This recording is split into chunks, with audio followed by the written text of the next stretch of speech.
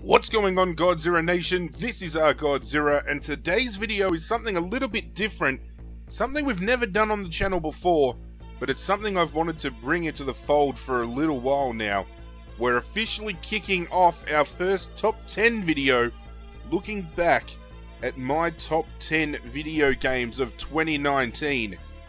Before we get started, please bear in mind this is all based on my own personal opinion as well as being games that I have physically played throughout the year. So unfortunately, Death Stranding will not be in this top 10 list purely because I'm yet to play it. I can assure you though, as a huge Norman Reedus fan, and those of you who know me can attest to how big of a Norman Reedus fan I am, and all the gameplay and stuff that I've seen online so far of this game, there is no question it would have comfortably made this list had I have gotten my hands on the game yet. However, I've got to do due justice to the games that I have played. So, I think it's time we got this list underway. But before we do so, two things. First of which, I want you guys to let me know in the comment section down below what your top 10 video games of 2019 were. I love always turning it over to you guys and hearing the responses that you guys have. We've got a passionate community growing here together. The Godzirra Nation is growing each and every day. I couldn't be prouder to be leading this community. I couldn't be any happier to have you guys as part of this community. So let's get the discussion going down below. Your top 10 video games of 2019. The second point I want to make is I've got a pair of special mentions that don't make the list, but I still want to talk about them anyway. The first of which is Ancestors the Humankind Odyssey. It provided a unique take on the survival genre that I think is going to point future survival games in the right direction. Absolutely loved the fact of being able to go out and having to discover things and learn about the world as you went on, and it was just brilliantly put together. We did start a series of it to begin when it first came out on PC.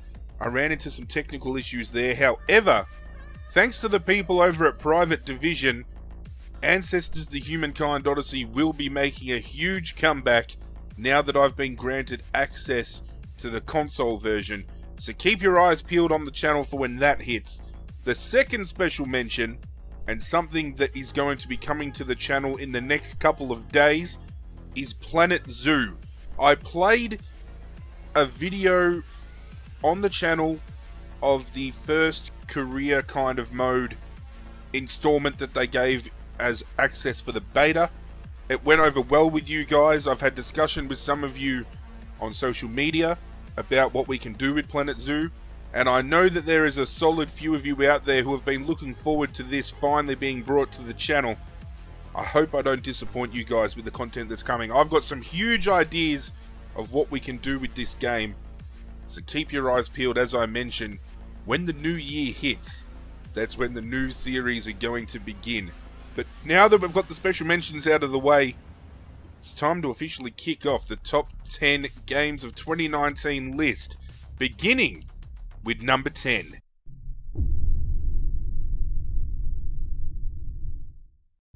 In the number 10 slot, and for those of you who have been following my content this year, it was definitely going to be making this list. Trover Saves the Universe. Justin Roiland was at his comedic finest when he pieced this together. You can tell the scripting of this fell into the pocket of exactly how he pieces together the Rick and Morty TV series. He just gets into a booth, starts rambling, and magic happens. I'm a huge fan of Rick and Morty, so it was right in my wheelhouse with the crude, in your face comedy.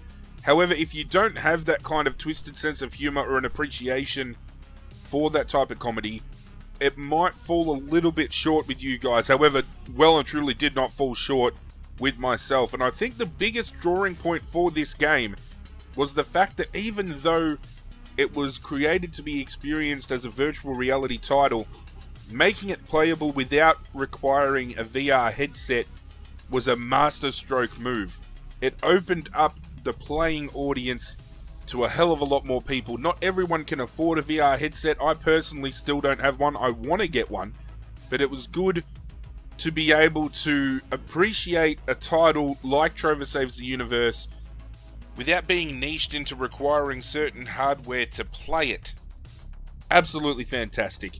And I know a lot of you enjoyed Trover Saves the Universe as well. So quite comfortably and quite happily, he slots in at number 10. At number 9, we have the first horror title for this top 10 list, and that is The Blair Witch. I said it throughout the entire series when I played this on the channel, and those of you who did follow the series would be able to attest to it, but if you didn't, Blair Witch, in my opinion, is one of the best atmospheric horror games I have played in a very long time. It doesn't need to be constantly in your face with jump scares or visceral blood, guts, and gore. It was more of an atmospheric psychological game that the Blair Witch film series obviously presents to us as viewers. Being able to experience that from a video game perspective was absolutely brilliant and it had everything that makes a solid horror game. You had the suspense, you had the atmosphere, you still had plenty of jump scares even though they weren't right up in your face.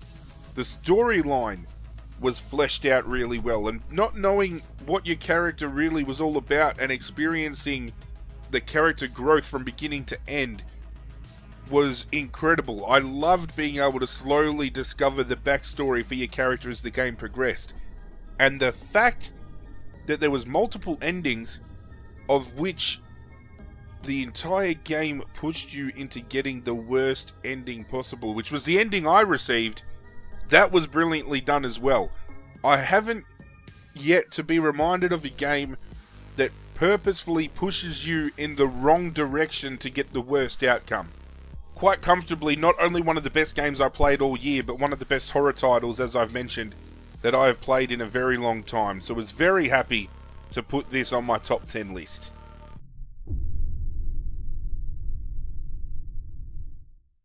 At number 8, we come in with a title that was big in my childhood and I couldn't wait to dive back into as soon as I realised it was being remade and brought to current gen consoles, and that's Crash Team Racing. Boy, did they take this and hit this out of the park. I am absolutely in love with this game.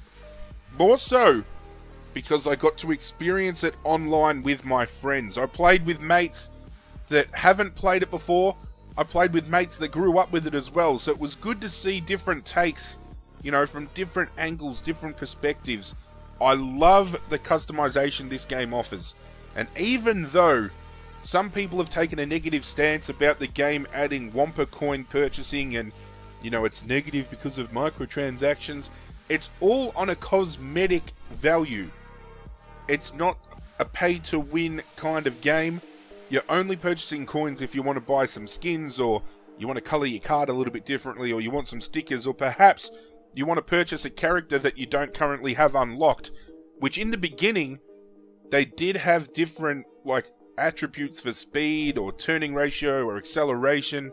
So you could think maybe okay, it is kind of pay to win, but then they modified the game so you can now select what is boosted with each character, so it's now a level playing field. In that case, I think microtransactions are perfectly fine. There was no way I was compiling a top 10 list of my favourite games for 2019 and leaving Crash Team Racing off of it. Such a great game. I'm happy it actually got, I'm pretty sure it was Best Sporting Game of 2019, Sport slash Racing Game.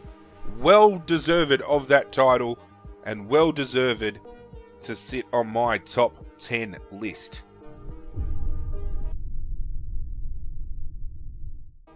Coming in at number 7, we have Pokemon Sword and Shield. And I think a lot of you would have seen this coming. I am a huge Pokemon fan. I have been since Red and Blue first came out in 1996. And it's no different now as a 29 year old adult still loving the franchise as much as I did when it first came out.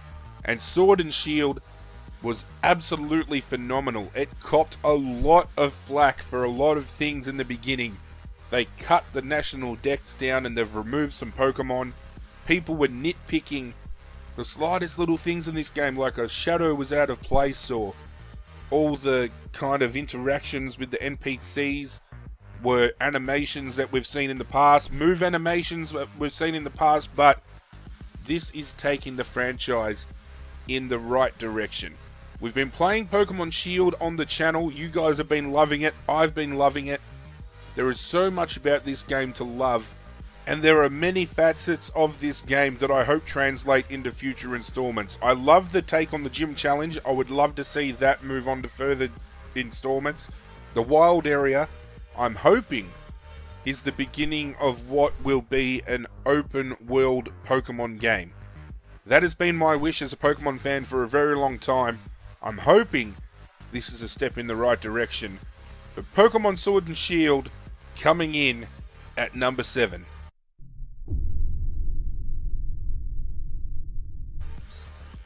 At number 6 comes the game that has been slated as Game of the Year, so it is a little bit down on my list.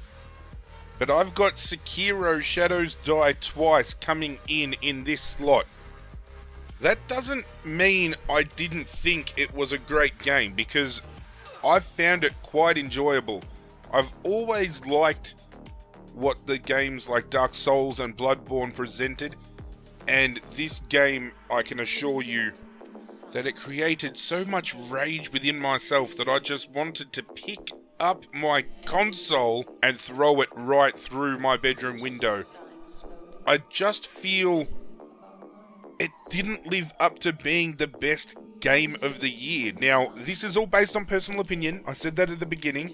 And I know there's a lot of you out there that feel that this was game of the year. I am not discrediting your opinion at all.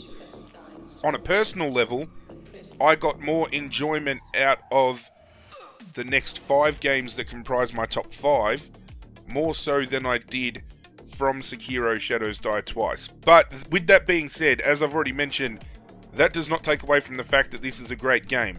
I especially love the fact that this game didn't shy away from throwing you into the deep end to kick things off. I actually find games like that quite enjoyable. So having to take on all these tough opponents right from the get-go, I actually found quite refreshing. I'm curious to see where this game slots on your list when it comes to letting me know in the comment section down below. But nonetheless, Sekiro still slots in on my list at number 6.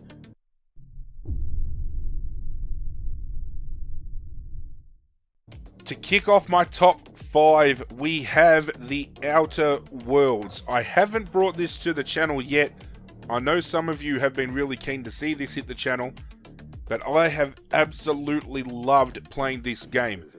You all know I'm a big fan of Fallout and the Fallout series. So being able to play a game that felt like Fallout but in an outer space adventure, absolutely incredible. As soon as I started the game, created my character, I did whatever it took to become the biggest badass outlaw ever. Edgewater is the first town you come across within probably the first 20 minutes of the game. By that point, I had already shot every NPC in the face that I could find and killed the mayor of Edgewater as well. I was a social pariah, everybody was out to kill me, and I absolutely loved it. Why? because so many games niche you into needing to be the hero when you get the option to be either the hero or the villain i'm going to be able to jump into that villain slot quite comfortably it's why i enjoy games like infamous and you know fallout 4 and those type of games that present with you the opportunity of turning against the norm and being an absolute badass I haven't gotten deep into the game, but I am looking forward to seeing what this game continues to offer myself as I dive deeper. So at number 5, The Outer Worlds locks in its position.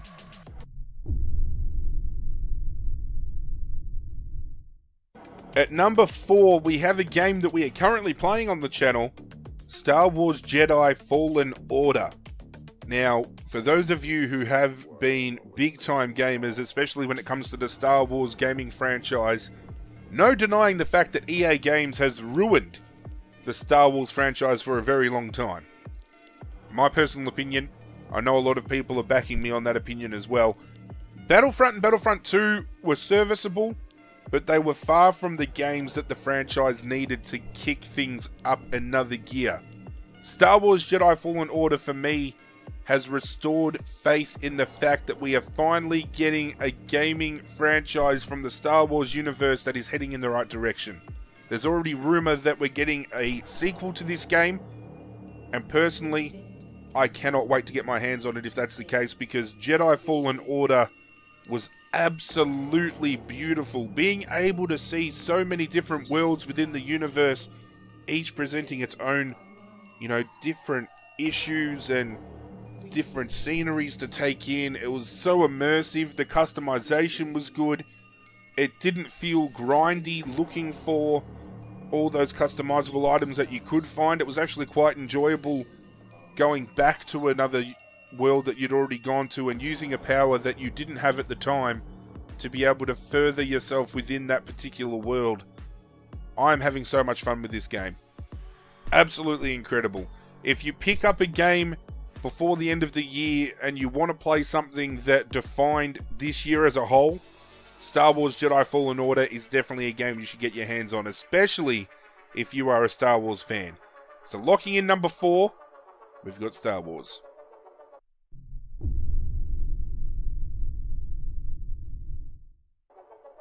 Heading over to the number three slot, and I think a lot of you who have been supporting the channel would have known this game was going to pop up.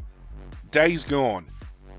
Absolutely incredible. I've likened it to The Last of Us a few times when it comes to the storytelling and the characterization, and I'm going to do it again because The Last of Us to me stands up as one of the best video games of all time, especially when it comes to the storytelling.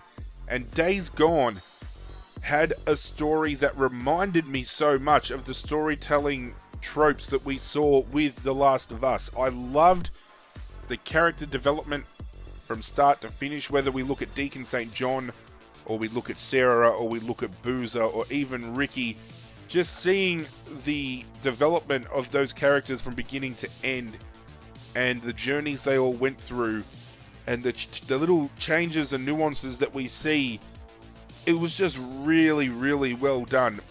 The only gripe I have with it is so many games currently that are coming out in the horror genre are niche towards zombies, and I know that's put a lot of people off but I really feel Days Gone did enough in its own right to set it apart from all those other zombie based horror games that are coming out. They didn't just have those zombies, they threw so much at you in that universe that you didn't know what was going to attack you. You had the zombies and that you had different incarnations of the zombies, but then you had the marauders that would come at you. You had the rippers, you had bears, you had mountain lions, you then had those ravens that were coming at you it was good to have a solid list of enemies that would just pop up out of nowhere and take you on. Especially when it came to the Horde system of Days Gone, which is where I think they absolutely knocked this game out of the park. You could just be walking around, having a pleasant stroll through the mountains, and then all of a sudden, three to five hundred freakers are running at you, and you've got no way of surviving an encounter like that at all. It was brilliantly done. Another game on my list that copped a lot of heat, but personally, I fell in love with this game, and as soon as I started putting this list together, I knew quite comfortably it would be on the higher end of the list. So for me, I loved it. I don't know about you guys, but it locks in my number three slot.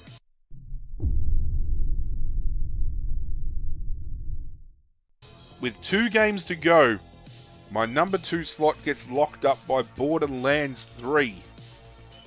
What an experience. I absolutely loved it. I have been waiting a very long time for Borderlands 3 to drop. I love the art style of the series. I love the comedy that the game brings, especially with some of the creations weapon wise. Like having a unicorn bomb.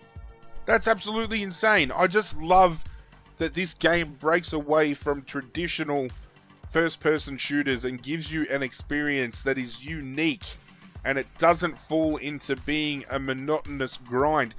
I personally found it quite enjoyable going back and taking on the bosses again and again and again in order to pick up those legendary items. It might have made it a little bit easier in the early parts, but being able to pick up like all the customizational like faces and body parts and weapons and all that stuff has always been one of the biggest parts of Borderlands that I've enjoyed. Borderlands 3 was absolutely incredible. I knew it wouldn't disappoint.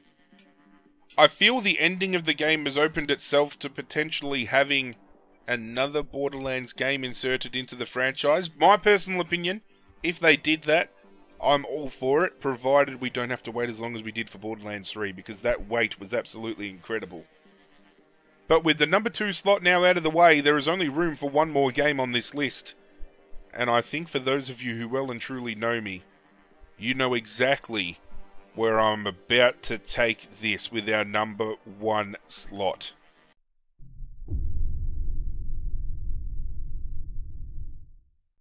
At number 1, without a shadow of a doubt, my game of the year was the Resident Evil 2 remake. Now, a lot of you are probably rolling your eyes at home saying that there were games that were well and truly better than Resident Evil 2. But for me, personally, being able to relive a game that I played as a kid, but having new elements added to it that make it stand up on its own two feet as an individual installment into the franchise was absolutely incredible. Resident Evil 2 is one of my favorite installations of the Resident Evil franchise, but is also one of my favorite PlayStation 1 games of all time. So as soon as they announced that remake, I was all about it. I knew I would love it. I did not think I would fall in love with it as much as I did. The horror was on point. The characterization of the characters, not only that you controlled, but the NPC characters, was absolutely brilliant. Being able to control Ada Wong and Sherry Birkin for more than just a five minute period like the original game and giving them a bigger part to play this time around was brilliant.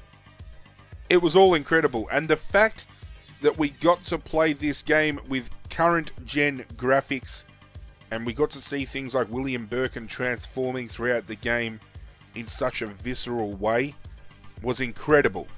I do have some gripes about this game, one of them being the exclusion of monsters like the big spiders down in the sewers. It's only minor things like that, but so pumped that they brought this game into the fold.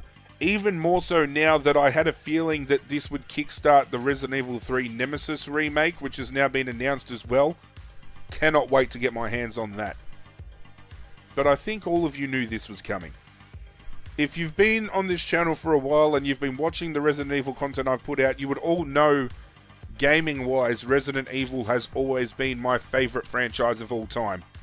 So, from that aspect, maybe a little bit biased on this list being number one, but when it came to voting for Game of the Year with the options we had, Resident Evil 2 Remake always got my vote. I voted on it whenever I could.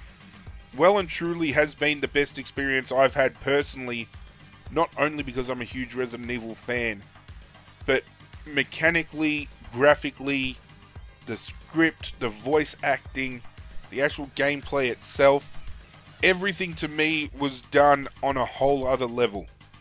I feel if I probably had dove into the Outer Worlds a bit more or played Death Stranding, this could have potentially dropped out of the number one slot, but gotta roll with what you've got. And to me, on a personal level, as a gamer and as a fan of the franchise, Resident Evil was the best game I played all year. I called it at the beginning of the year when we played it that it would get a nomination I hoped for Game of the Year because that's how much I enjoyed it. It got that nomination. I voted for it. It might not have won, but when it comes to my top 10 games of 2019, it comfortably wins the number one slot. I'm curious to know what your top 10 games of 2019 were, so don't forget to let me know in the comment section down below. As well as letting you guys know Over the next couple of days, you are going to see different top 10 lists dropping. We've just done my top 10 video games of 2019, so we're going to do my top 10 worst slash disappointing games of 2019, my top 10 games of the decade, as well as my top 10 most anticipated video game releases for 2020. I am hoping that this top 10 list series that we're beginning conti- continue on 2020 and beyond. And we're not just going to niche it to video games, we can break into different things as well. I'm just wanting to do some different things on the channel that step away from playing video games. Having the option to talk about video games instead of playing it, having the option to look at other things I enjoy. I'm a huge horror fan, so being able to dive into horror films and stuff like that, I think would be a big step in the right direction for the channel as well. I just want to mix things up while being able to interact and have fun with you all. I seriously cannot begin to thank you guys enough for all the support you have thrown behind this channel since we've started, especially within the last 12 months. I didn't think we'd be this close to a thousand subscribers, but we are, and that is attributed to all the support and love that you guys continue to show when you come here, and I seriously, seriously am in debt to each and every one of you. Huge things for the channel moving forward, I hope and I'm glad you guys are on this journey with me. If you are new to the channel and you have not yet subscribed, hit that subscribe button and pledge your allegiance to the Godzirra Nation in the process. I can promise you it is a decision you will not regret. But that's it from me, guys. I'm out of here, and as always, I will catch you guys next time.